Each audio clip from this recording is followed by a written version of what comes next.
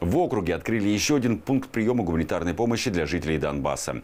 Он создан в главном корпусе Люберецкого техникума имени Гагарина. Люберчане уже приносят сюда вещи и продукты. Глава округа пришел одним из первых.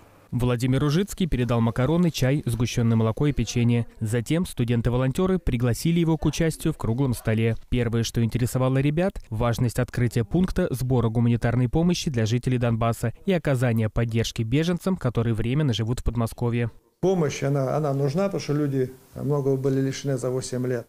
Обсудили ситуацию в стране и мире, поговорили о влиянии интернета на жизнь современного человека и удобстве взаимодействия жителей с властями посредством социальных сетей. Глава вспомнил о своей студенческой жизни, а также порадовался за нынешнюю молодежь. Все активные, всегда на всех мероприятиях.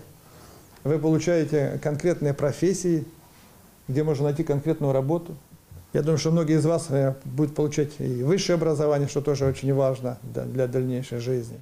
Ирина Будкина волонтерской деятельностью занимается с 2020 года. В период пандемии работала в поликлинике, фиксировала заболевших коронавирусом и консультировала их. В родном техникуме она тоже среди первых. Мы всячески пытаемся помочь, оказать поддержку, особенно в данной ситуации, которая у нас складывается в мире, помощь очень сильно нужна.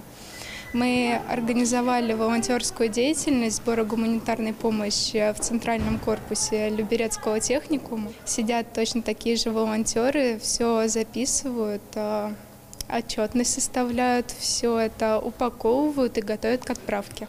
В техникуме имени Гагарина на Октябрьском проспекте 114 пункт работает с 12 до 17 часов. В помощь жителям Донецкой и Луганской народных республик люберцы направили уже более 40 тонн гуманитарного груза. Богдан Колесников, Денис Заугольников, телеканал ЛРТ.